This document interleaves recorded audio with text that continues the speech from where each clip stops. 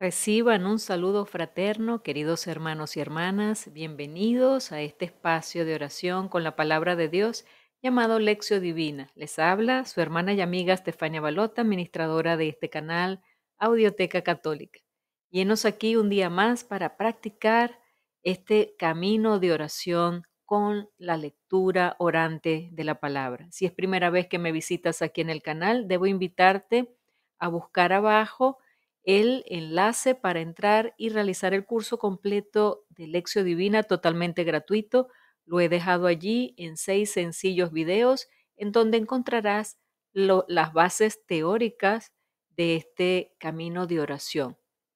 Gracias por estar aquí. Vamos a comenzar una nueva semana con mucho ánimo, con mucho entusiasmo y con ganas de perseverar durante todos estos días en la escucha y la meditación de la palabra. Entonces, te invito a que comencemos recordándote antes que es importantísimo tu apoyo con el dedito arriba, con el me gusta, porque así estarás impulsando este video a que lo conozcan muchas más personas. Nos estarás ayudando en nuestro trabajo aquí en la plataforma YouTube. Gracias por tu apoyo. Sin más preámbulos, vamos a comenzar con la oración.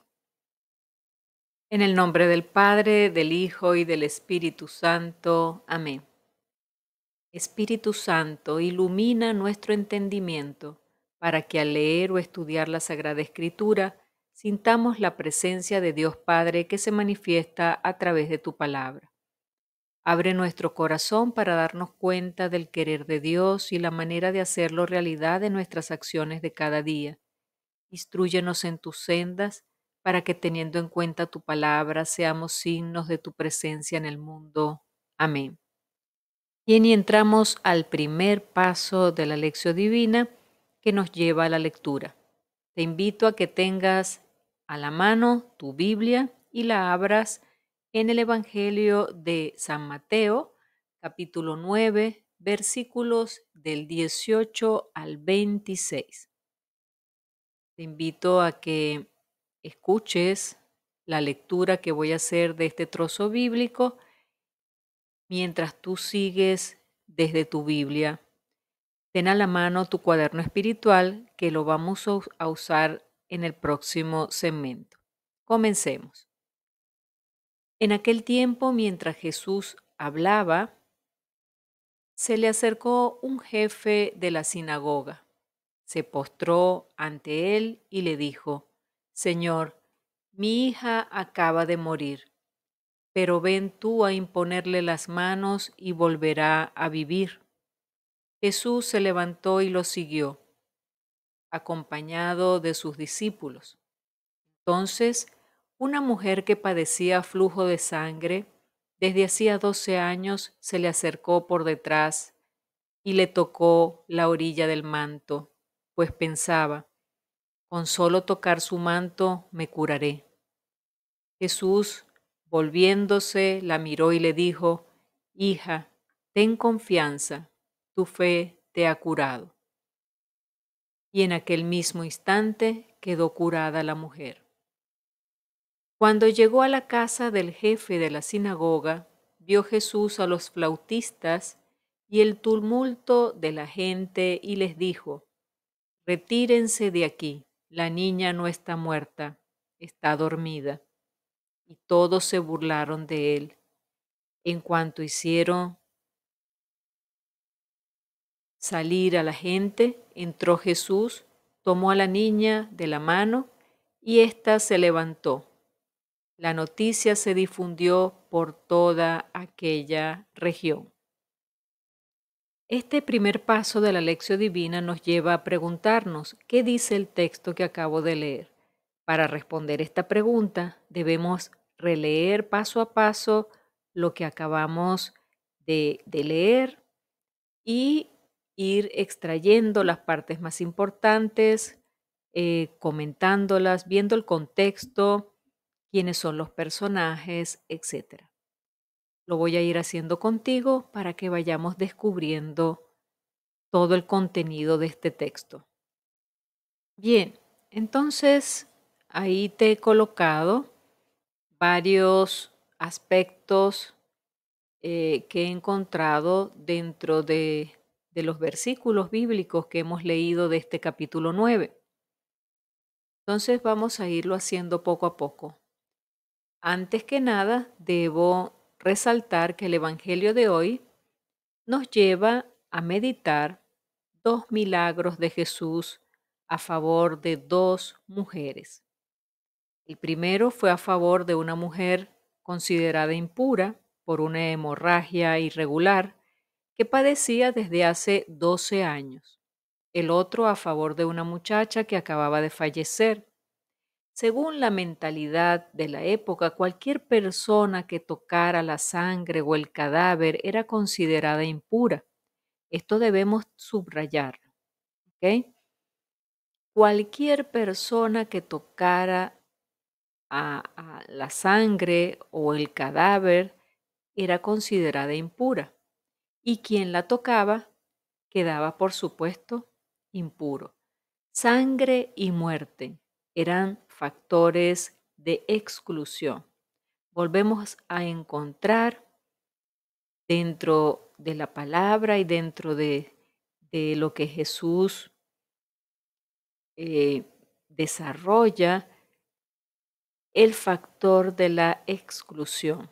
Por esto, estas dos mujeres eran personas marginadas, excluidas de la participación en comunidad. Quien las tocara quedaría impuro, impedido de participar en la comunidad, y no podía relacionarse con Dios, por supuesto, para poder ser,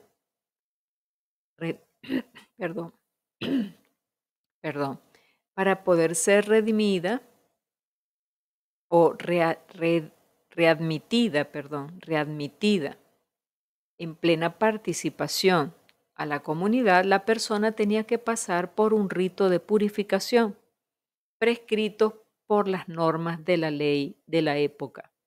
Ahora, curado a través de la fe, la impureza de aquella señora, Jesús abre un camino nuevo para Dios, un camino que no dependía de ritos de purificación, controlado por los sacerdotes. Al resucitar la muchacha, vence el poder de la muerte y abre un nuevo horizonte para la vida.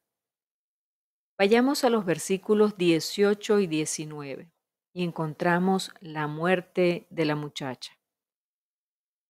Mientras Jesús estaba hablando, un jefe del lugar vino a interceder para que su hija, para que Jesús fuera a donde estaba su hija que acababa de morir. Él le pide a Jesús que le fuera a imponer la mano a la muchacha y ella viviría. El jefe cree que Jesús tiene el poder de devolver la vida a su hija.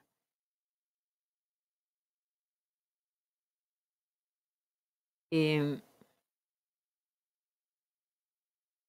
esa señal de esa fe en Jesús, de aquel hombre, de parte de ese padre de la muchacha, es una señal importante. Jesús lo toma en serio, se levanta y va con él, llevando consigo a sus discípulos.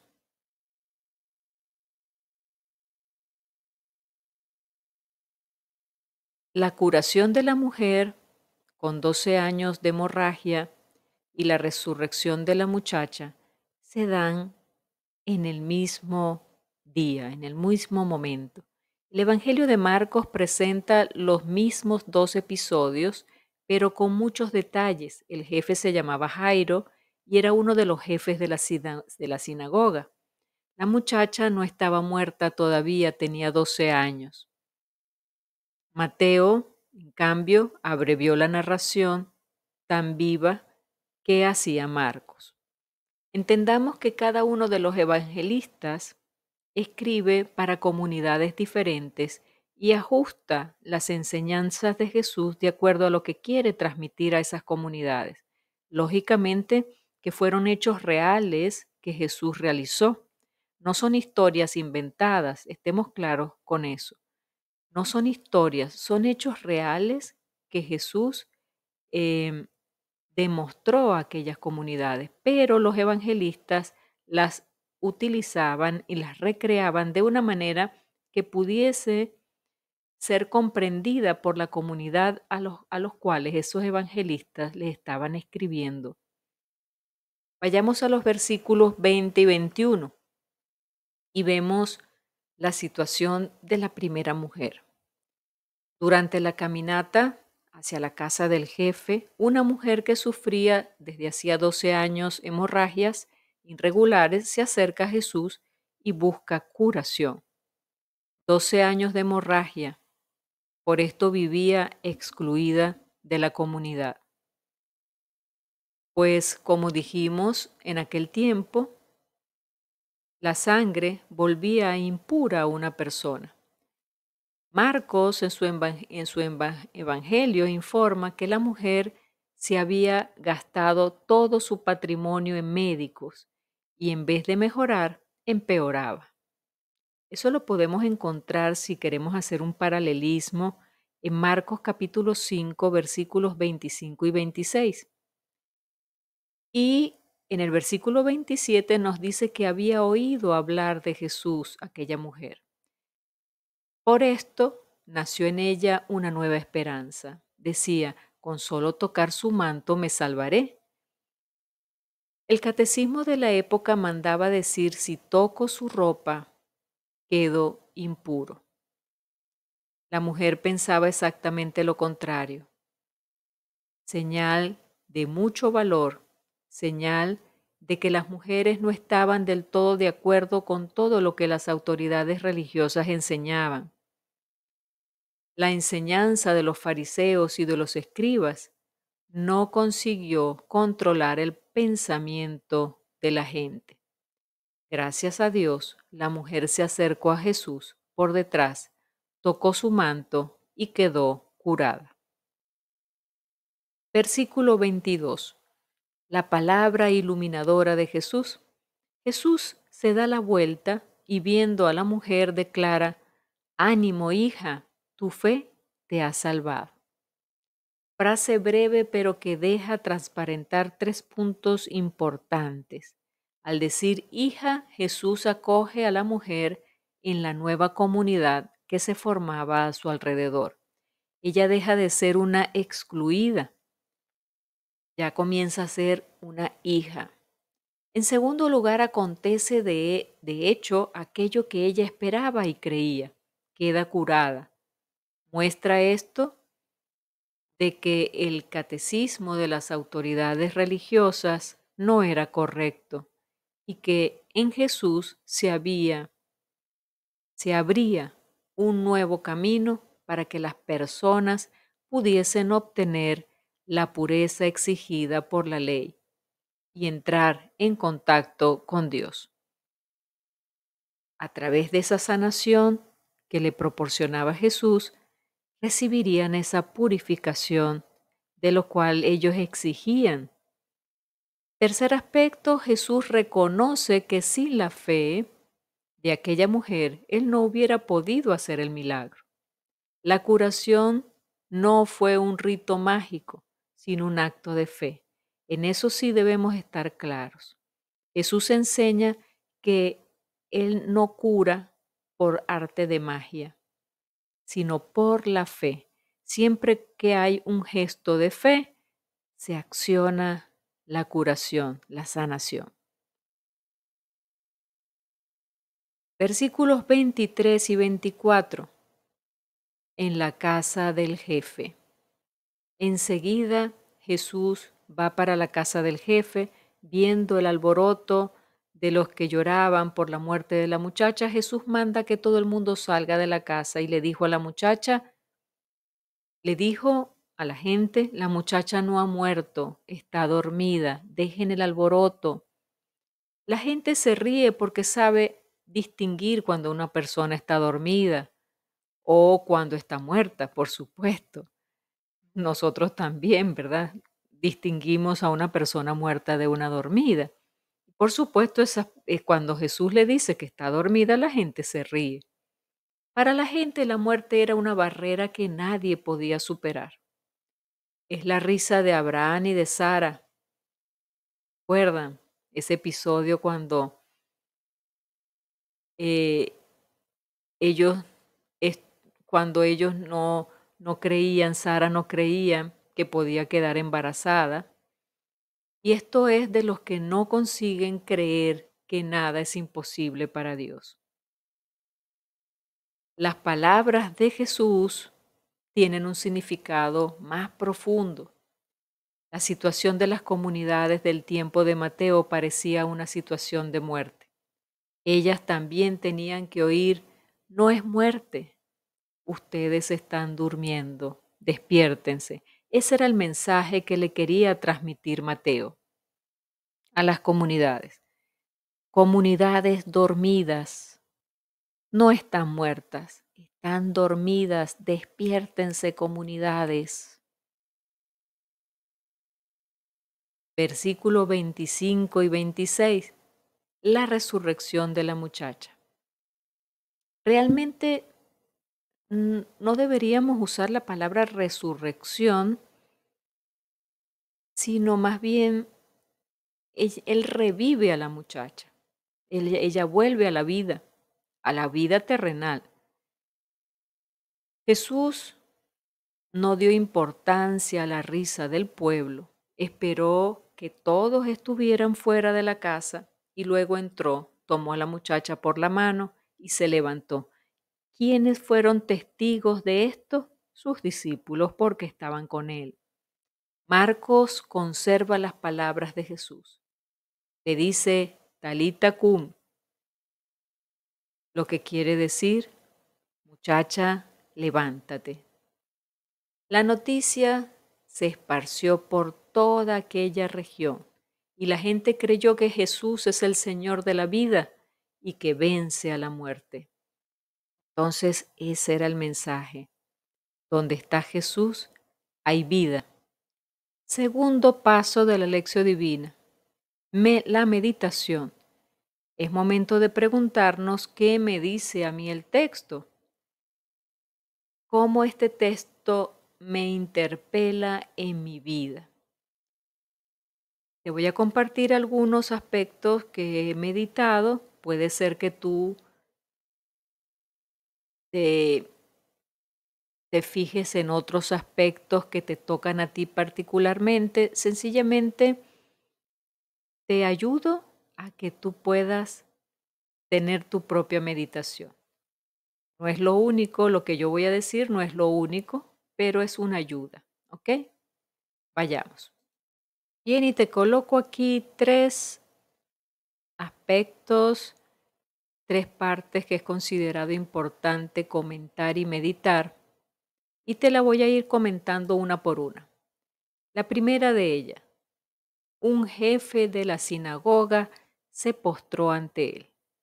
El gesto de postración es importantísimo aquí resaltarlo. Vemos en muchos pasajes de la escritura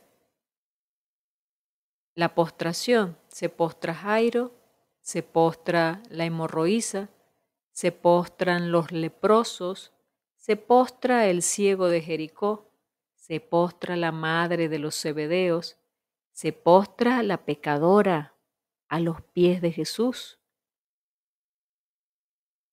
Esta postración, hermanos y hermanas, es un gesto de reconocimiento del poder del Maestro.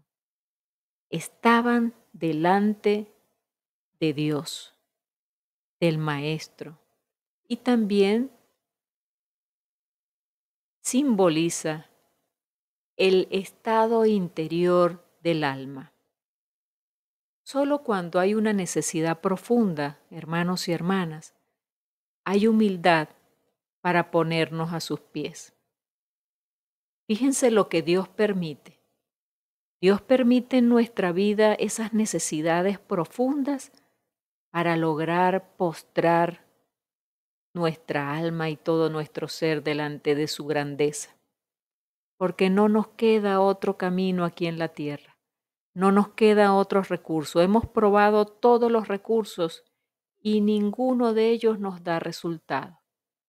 ¿Qué le queda a nuestra humanidad? Postrarse ante la grandeza de Dios. Entonces, preguntémonos, ¿uso frecuentemente este gesto de postración como signo de necesidad? De esa necesidad de Dios y sobre todo, uso este signo de postración en el momento de mi oración como señal de que estoy delante del Todopoderoso. Segundo aspecto, ven tú a imponerle las manos y volverá a vivir. Jairo es un hombre rico, es un hombre importante, como cualquiera de los que viven en esta época, ¿verdad? Imaginémonos un hombre rico, un hombre importante, con influencias en el gobierno, con influencias en el sistema económico, con una vida tranquila, acomodada. Pero eso no le priva del sufrimiento. El tener dinero no le priva del sufrimiento. Necesita, aún así, del Todopoderoso. Hermoso gesto que pide a Jesús para volver a tener vida. Él le pide la imposición de manos. Cada vez, queridos hermanos, que nos confesamos, fijémonos en este detalle, el sacerdote eleva su mano para imponer sobre nosotros la nueva vida de gracia. Él impone las manos, nos toca la cabeza y nos transmite esa gracia santificante del sacramento de la reconciliación. Es el sacramento de sanación por excelencia. Y esa imposición de manos es la misma imposición de manos que le estaba pidiendo Jairo para su hija, para que su hija volviera a la vida. Fijémonos en esa señal. Entonces, preguntémonos tú y yo, ¿busco en la confesión frecuente esa imposición de manos ante mis muertes espirituales? ¿Valoro ese signo y ese, ese signo de la imposición de manos y ese poder que tiene ese sacramento de la reconciliación, de la penitencia,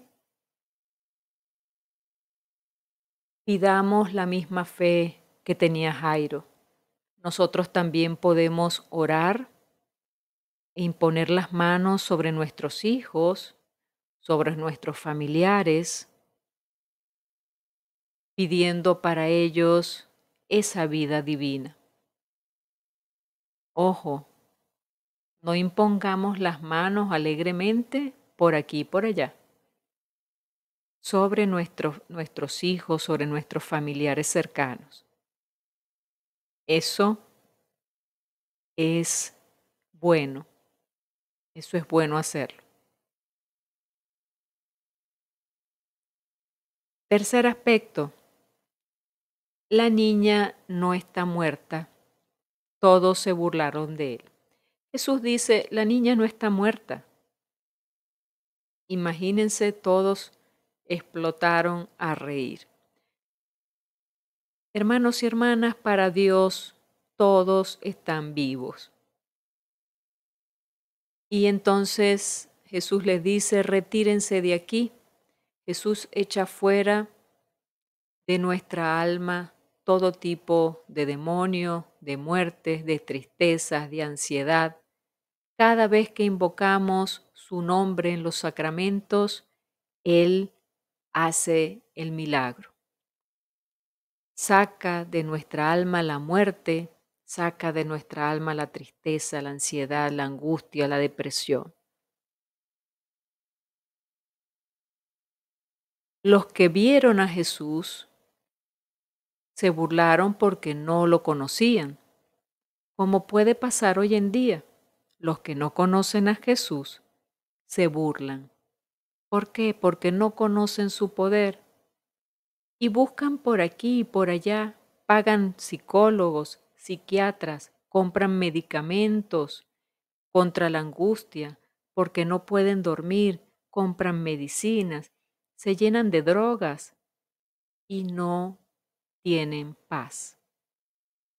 Cuando alguien se burle de nuestra cercanía a los sacramentos para buscar justamente esa paz que solo la da Jesús, para buscar esa sanación, esa liberación de tristezas, de ansiedades que solamente da Jesús, quizás necesitamos vernos con esa nueva vida. Cuando alguien se burle en nuestra cara, de eso justamente, de nuestra fe, debemos demostrarle con nuestro testimonio qué es capaz de hacer Dios en cada uno de nosotros, cuál es su poder. Entonces mostrémosle que Jesús tiene el poder para desterrar toda muerte y toda angustia, y que sea con nuestro testimonio. Amén. Sigamos adelante. Y llegamos así al tercer paso de la lección divina que nos lleva a la oración. ¿Qué me hace decir el texto en este momento? ¿Qué siente mi corazón? ¿Cómo le respondo a Dios? Te voy a compartir mi oración personal para que luego tú hagas la tuya propia. Oremos. Padre bueno, quiero vivir mi vida en actitud de postración y adoración. Es ese es mi lugar. Sentirme pequeña, sentirme nada delante de ti. Que mi corazón sea un corazón adorador, y no solo cuando tenga una necesidad, Señor, sino también para alabar y agradecer por la vida nueva que me das una y otra vez en los sacramentos, una y otra vez cada día. Te lo pido en nombre de Cristo Jesús. Amén. Cuarto paso de la lección divina, el propósito o el compromiso. Es momento de llevar a la práctica ese, esa, esa observación, eso que tú has sentido que el Señor te está corrigiendo. Entonces nos preguntamos, ¿a qué me invita hoy Jesús con este Evangelio de hoy? Cada uno tendrá una respuesta diferente, cada uno anotará en su cuaderno espiritual lo que Jesús le pide y pediremos su gracia para poderlo llevar a la práctica. Nos está pidiendo más oración, nos está pidiendo más fe, acercarnos más al sacramento de la reconciliación, a que nos impongan las manos para que nos ayuden espiritualmente a salir de nuestras parálisis espirituales. Muchas cosas puede habernos pedido el Señor, cada uno sabrá y se lo presentará al Señor. Entonces, Mm, eh, te invito a que comentes abajo en la casilla de comentarios y que también compartas, compartas con tus amistades lo que aquí has recibido. No te quedes con eso. Bien, y hemos finalizado esta práctica de la lección divina por el día de hoy, lunes, estamos iniciando la semana. Te deseo lo mejor, Coloquemos todos nuestros planes, proyectos, metas de esta semana en las manos del Señor. Postrémonos delante de Él con humildad y digámosle, Señor, tú eres el Todopoderoso, en tus manos pongo todos mis proyectos de esta semana. Y veremos cómo de la mano de Él vayamos, vamos a ir paso a paso, eh, sobrellevando, sobrepasando y saltando esos obstáculos y esas piedras del camino no serán nuestro tropiezo. Así que ánimo, adelante. Te digo hasta mañana, si así Dios lo permite. Recuerda suscribirte al canal, activar la campanita de notificaciones y apoyarme con el me gusta. Dios te bendiga.